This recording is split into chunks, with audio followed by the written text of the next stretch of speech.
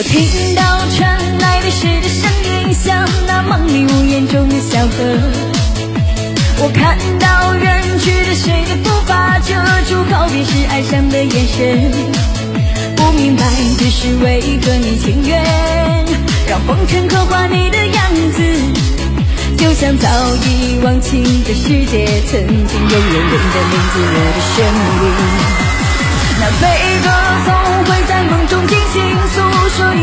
想过的往事。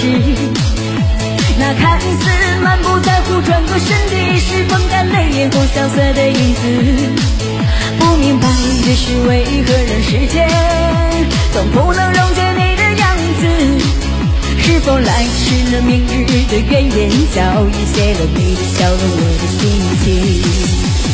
不变的你，伫立在茫茫的城市中，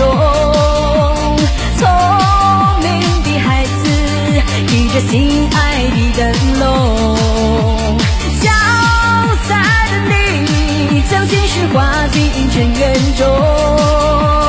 孤独的孩子，你是造物的恩宠。